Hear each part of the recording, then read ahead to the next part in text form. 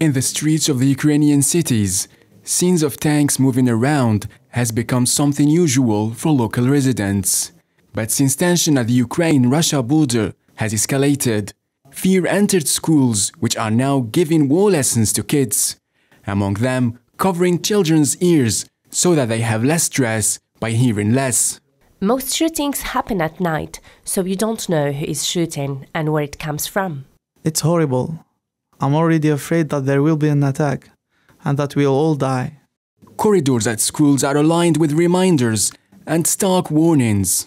Inside classrooms, deadly bombs, guns, and different kinds of weaponry are put on the desk. Children learn about them. But not only that, they also learn about unexpected shapes of weapons. It looks just an ordinary toy, but it contains an explosive and any contact, picking it up, catching it, or just walking by can set this off. Teachers find it necessary that those kids are trained for war, given previous events that represent bad memories for those who witnessed them. We never thought we would need this kind of knowledge, but then suddenly in June 2014, the kids were shot on their way to school. We found out later it was not the army, but separatist fighters, and this became our daily reality.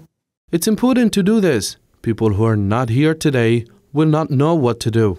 In these Ukrainian schools, kids are trained for a possible scenario that no one hopes to become a reality.